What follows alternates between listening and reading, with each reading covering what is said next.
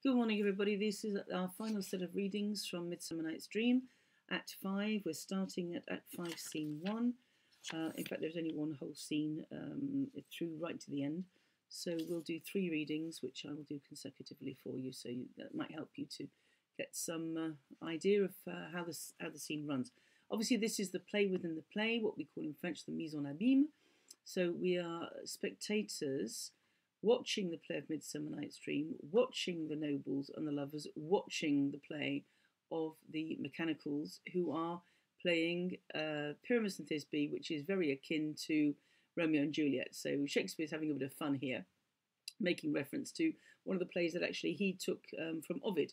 So um, here we really do have several plays within the plays within the plays within the plays. So it's like looking into the Vache qui rit, uh, you know, the vache qui has um, earrings which are made out of boxes of vache qui on which there is a box with the rit and uh, the other um, idea of mise en abîme, very much used by Andy Warhol, um, was the television looking at a television, looking at a television, looking at a television. So that's what we mean by mise en abîme, or the play within the play. Okay, so let's start um, with uh, Act 5, Scene 1. Hippolyta and Theseus are getting ready to enjoy the play. Um, and uh, we hear the discussion here with here's Shakespeare talking about his own craft of uh, being a playwright and writing plays and performing them. Obviously. So Hippolyta, tis strange, my Theseus, what these lovers speak of. Theseus, more strange than true. I never be believe these antique fables nor these fairy toys. Lovers and madmen have such seething brains, such shaping fantasies, uh, that apprehend more than cool reason ever comprehends. The lunatic, the lover, and the poet are of imagination all compact. One sees more devils than vast hell can hold.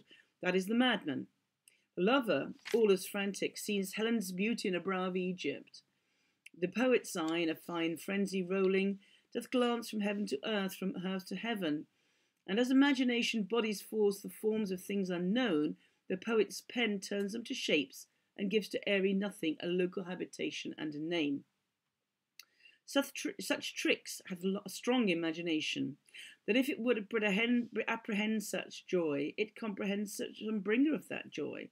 Or, in the night, imagining some fear, how easy is a bush supposed to bear? Hippolyta.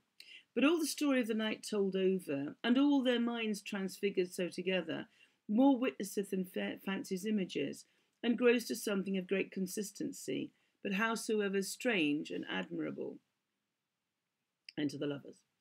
Theseus, here come the lovers full of joy and mirth. Joy, gentle friends, joy and fresh days of love accompany your hearts. Lysander, more than to us, wait in your royal walks, your board, your bed.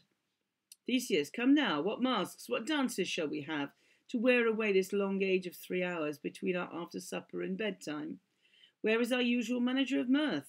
What revels are in hand? Is there no play to ease the anguish of a torturing hour? Call Philostrate.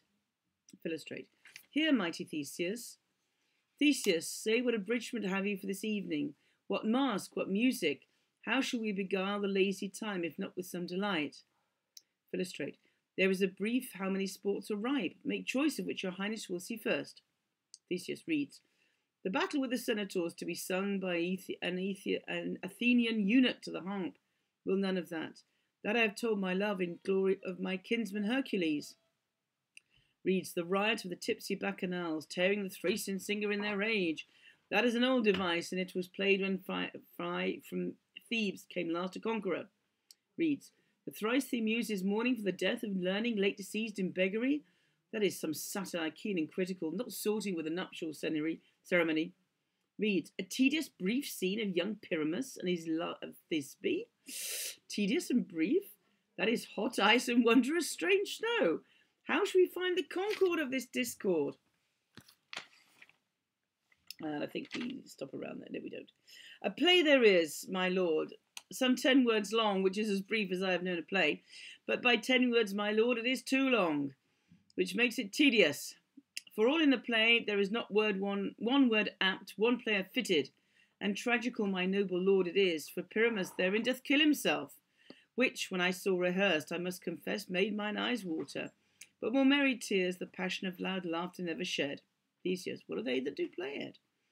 Philostrate, hard-handed men that work in Athens here, which never laboured in their minds till now, and now have toiled their unbreathed memories with this same play against your nuptial. Ah, Theseus, oh, we will hear it. Philostrate, no, my noble lord, it is not for you. I have heard it over, and it is nothing, nothing in the world, unless you can find some smart in their intents, extremely stretched and conned with cruel pain to do you service. Theseus, I will hear that play. For never anything can be amiss when simpleness and duty do tender it. Go bring them in. Take your places, ladies. Hippolyta, Hippolyta, I love not to see wretchedness so overcharged and duty the service perishing. Theseus, why, gentle sweet, thou shalt see no such thing. Hippolyta, he says they can do nothing in this kind. Theseus, Theseus, the kind are we to give them thanks for nothing. Our sport shall be to take what they mistake, and what poor duty cannot do, noble respect takes it in might, not merit. Where I have come, great clerks have proposed to, to greet me with premeditated welcomes, where I have seen them shiver and look pale, make periods in the midst of sentences, throttle their practices accent in their fears, and in conclusion dumbly have broke off, not paying me a welcome. Trust me, sweet, out of this silence yet I picked a welcome, and in the modesty of fearful duty I read as much from the rattling tongue of saucy and audacious eloquence. Love, therefore, and tongue-tied simplicity in least speak most to my capacity. And to Philostrate. Philostrate, so please your grace, the prologue is addressed. Theseus, let him approach. So here we have the setting out of the of the play Pyramus and Thisbe, which will be performed before the Duke and uh, Hippolyta and the nobles on their wedding day at night, as uh, Bottom has told us. Um, the first lines are incredibly important here. Well, all of Shakespeare is incredibly important, but um, here Shakespeare is really talking about the craft of being a playwright. The lunatic, the lover, and the poet are imagination all compact. So he aligns himself as a poet, a writer, with a lunatic and a lover, those people who do not react by reason but react by instinct and by emotion. Um, Theseus says, I never may believe these antique fables, these fairy toys. Well, he is part of these antique fables, and so is Hippolyta. So strange in a way that he belies his own uh, background and his own um, origin, in a way, his own genesis, uh, by decrying uh, these antique fables, these fairy toys. But of course, um, the basis of all this is Ovid, and one of favorites, uh, one of the favourites of Shakespeare as poet. Um, Shakespeare could read Latin, apart from what Jonson said. He has little Latin and less Greek, but he really did read Latin.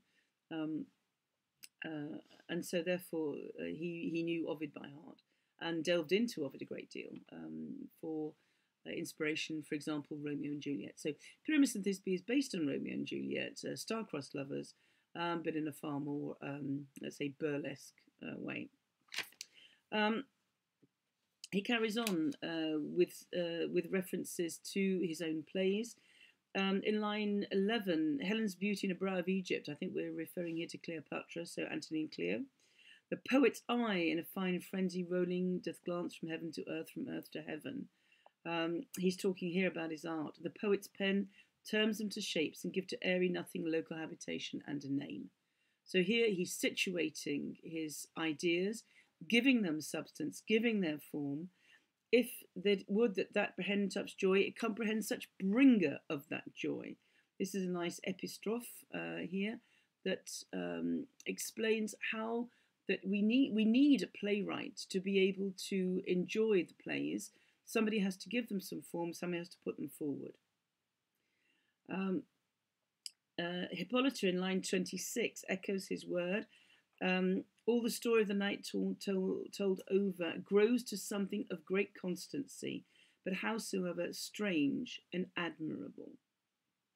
So here we're talking about the, the craft of being, being a playwright, and the difficulties of bringing such ideas before an audience in a particular form.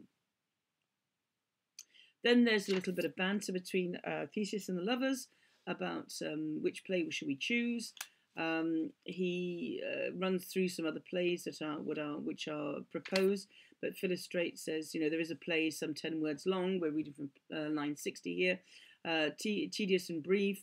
Um, uh, la- la- tragical and merry, um, uh, and played obviously by the mechanicals, whom both um, Philostrate and Theseus qualify as um, uh, ill-fitted for the play. But Theseus says that he will hear it because he feels that um, many people have made far more fuss about uh, a welcome than these people who are quite simple. But he says, Love, therefore, and tongue side simplicity in least speak most to my capacity. So they're ready to um, listen to the uh, to the play. See you in a minute for the next part, part two.